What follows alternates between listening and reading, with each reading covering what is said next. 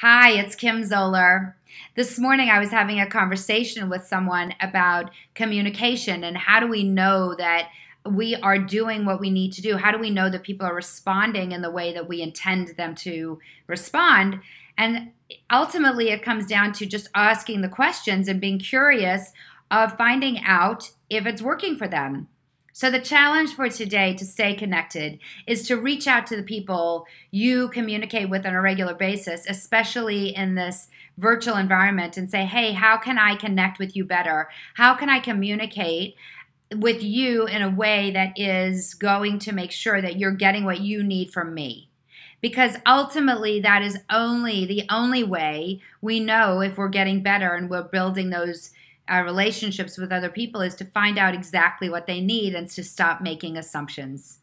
So I hope you reach out to two to five people today to find out what you can do, especially today, that is going to build your relationship. Thanks and have a super day.